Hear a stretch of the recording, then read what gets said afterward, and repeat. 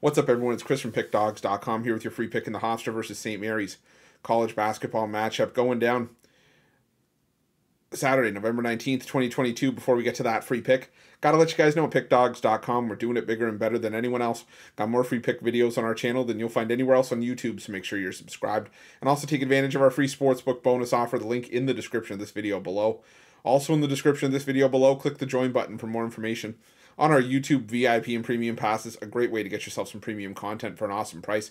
Those VIP and premium passes will ensure that every single day you're getting plays from myself, Mitch, and Rod. It's one of the best values going in sports handicapping today, so make sure it's something that you check out, take advantage of, it and keep in your back pocket.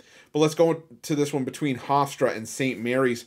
And uh, Hofstra coming into this game at uh, 4 0 on the year, 3 and 1 against the number after picking up an 85 to 76 road win over San Jose State in their last game. Meanwhile, St. Mary's entering this one at 4 0 themselves and 2 and 2 against the number after a 72 to 54 win over Southern last time out. Now, thing about Hofstra is that they have been in a ton of high scoring games this season already 4 0 to the over, and each of those games going over the, the total by at least seven points. The last two going over the total by a combined 34 and a half points.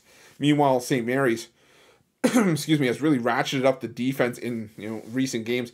Started the year by giving up 70 to Oral Roberts at home, but since then, in three home games, gave up 53 to Vermont, 33 to, to North Texas in the game. They still won by 30, and uh, 54 to Southern.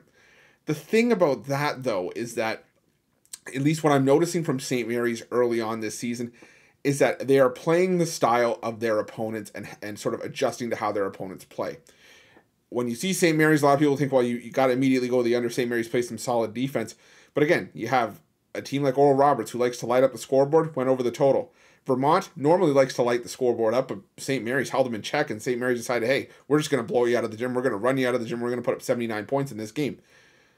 I just think that St. Mary's will get their fair share of points. I don't know if they'll be able to hold down Hofstra's offense. I'm not saying St. Mary's won't cover this game, but I think that this is just one of the game that St. Mary's is going to match the high speed, high high tempo offense of Hofstra, the high scoring offense of Hofstra. I think we have a game that goes over the total. I'm going to go with the over in this one. That's going to be my free pick. But if you're looking for best bets for myself or any of our other world class handicappers, check out Pick Dawgz Premium and use the promo code PICK P I C K, all one word, all lowercase for 15% off your purchase of $25 or more at Pick Dawgz Premium. While you're at Pick Dawgz, make sure you check out our free betting tools. Some of the best betting tools in the business and tools that you'll want to have in your back pocket when you're making your best bets for the day's action. Thanks for watching. Don't forget to subscribe and drop a like. Let's cash some winners.